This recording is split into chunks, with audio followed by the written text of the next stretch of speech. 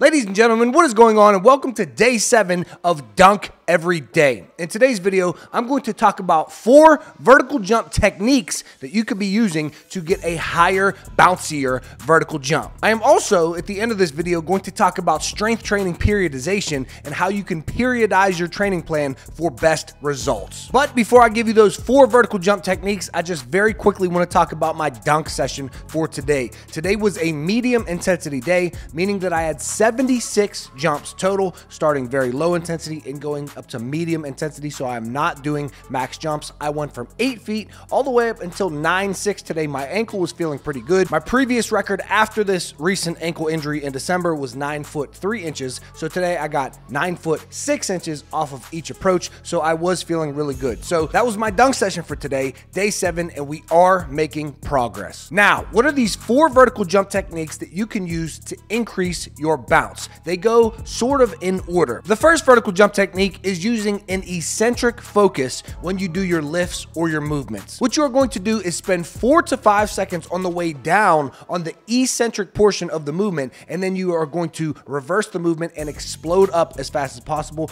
on the concentric for that force production. And what this is going to do is teach your body to absorb force. And the more force that your body can absorb, the more force your body can produce. Because if you can't absorb the force, there's no way that your body can redirect that force and produce that force in a concentric movement, i.e., a vertical jump. So that is technique number one. And normally, the eccentric focus comes in the beginning of your training, in the first block of your training, and then you can build on top of that as you move forward. The second technique for your training is an isometric focus. And sometimes you can flip flop the eccentric and the isometric. You could really do either one of these first. But when it comes to weight training using an isometric focus, what you're going to do is actively pull the weight or pull the bar, or even if you're just using body weight, pull your body down as quickly as you can. Stop your body as fast as possible, normally in a joint angle. So the specific angle of your hips, your knees, and your ankles that you use when you are doing a vertical jump. You're gonna stop in that joint angle. You're gonna hold the isometric for four to five seconds, and then you're going to explode back up for the concentric portion of the rep as fast as you possibly can. When you perform an exercise with an isometric focus, you are teaching your body not only to decelerate more efficiently, to produce more force more efficiently, but most importantly, you are teaching your body to recruit more muscle fibers, more motor units to use in any lift or any exercise or any dynamic sporting action like a sprint or a run or a cut or a vertical jump. And what I mean by that, if you don't quite understand that, is imagine that little Jimmy is stuck under a car. Little Jimmy's wiffle ball rolled under a car and he crawls under there to get it. And then he gets stuck. And he's calling for his mom, and his mom comes and she's trying to lift up the car. Obviously, little Jimmy's mother can't lift up a car. So she calls for help and she gets the neighbors and then these neighbors. And now we have four, five, six people all trying to lift up this car, and we lifted it up just enough for little Jimmy to crawl out. That is the same thing that's happening when you are doing an isometric contraction. As you hold in an isometric position, the muscle fibers are fatiguing, they are failing, and they are recruiting on more muscle fibers to help hold in that position or in that contraction. And essentially, the more muscle fibers, the more motor units that you can recruit, that is going to transfer to your dynamic sporting action when you're trying to run and jump and sprint and do all the things that you're going to do when you play in your basketball games. You will be more efficient at those movements when you practice it and you work on it and you use these techniques in the weight room. The third technique that I have for you, I like to call reversal reps. So really what this is is just going down and up as fast as possible. So the first technique was an eccentric focus. So you're going down slow and then up as fast as possible. Then we had an isometric focus where you're going down quickly, decelerating as quickly as you can, holding for four to five seconds and then exploding back up. Now we have reversal reps, and I just like to use that term for the athletes that I train because I just tell them go down as fast as possible, reverse the motion, and come up as fast as possible. But really,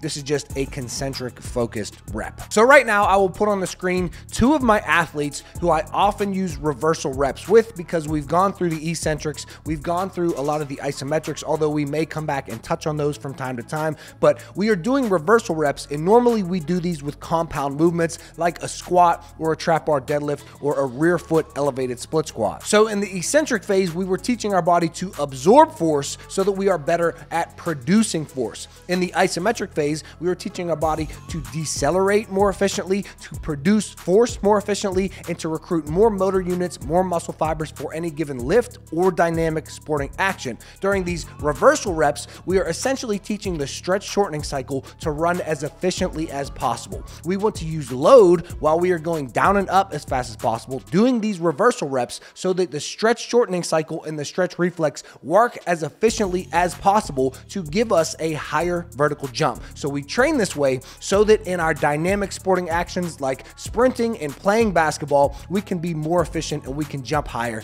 and dunk on the competition. The fourth and final technique that I have for you is called timed drop off sets. And normally I don't do time drop off until I do eccentric and isometric and reversal reps first. So this is the fourth phase of my program. And this comes at the very end after an athlete has built a solid foundation. What the athletes would do is they would do a compound lift like a squat or a trap bar deadlift or a rear foot elevated split squat. But you can also do this with upper body. You can do it with really any exercise that you want. It just works best with compound movements. But essentially what you're going to be doing is trying to get as many reps as you can in a set period of time. So let's say you have 10 seconds to get as many reps of joint angle specific back squat as you can. Let's say you get 12 reps in 10 seconds. We continue to do that, trying to go as fast as we possibly can. And by the end of the phase, let's say you can get 14 reps in 10 seconds. So you went from 12 reps in 10 seconds to 14 reps in 10 seconds. That means that we have efficiently increased your rate of force development while we were in this phase, which is the goal of these time drop off sets. And now, when you do these time drop off sets, it's best if you have a partner to say go and stop and they are just timing you.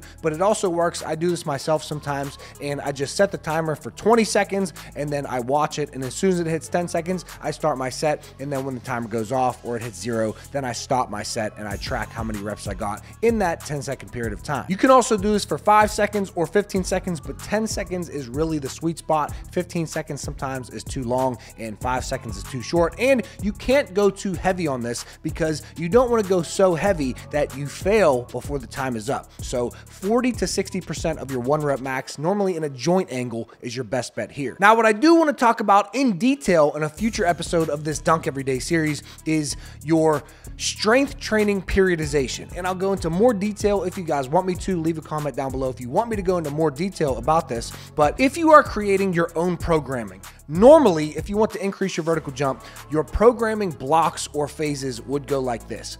You would first do some hypertrophy work. Then after the hypertrophy work, after that phase is over, you do that for say three to six to eight weeks. After that is over, then you have a strength phase for three to eight weeks. Then after that, you would have a power phase for three to eight weeks, and then you would have a speed phase for three to eight weeks. And these build off of one another. So you get your hypertrophy, your volume, you build your base foundation, then you build strength on top of that, then you build power, and then you have speed. So you are taking from that strength and you are turning that strength into speed and explosiveness and power and vertical jump. And that is the best way that I have found to schedule out my blocks of training. And one thing that I do want to mention is that let's say you do your strength phase and then you get into your power and your speed phase, you do want to do strength workouts normally every fourth or fifth workout so that you don't lose the strength that you built. Because if you stop lifting heavy, if you stop training for strength, eventually your strength is going to go down when you're in the power phase and the speed phase, unless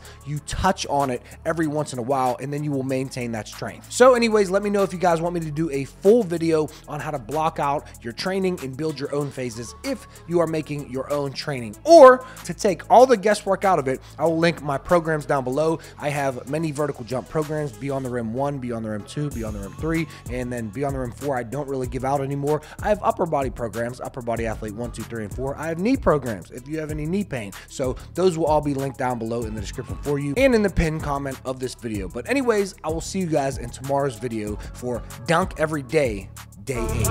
I've been to myself, just me lately. I don't need a lot. I don't need a lot, no. Just me and the fam, few friends ain't playing. I don't speak a lot, and I, and I, and I can't stop. And I, and I, and I can't stop. I, and I, and I can't.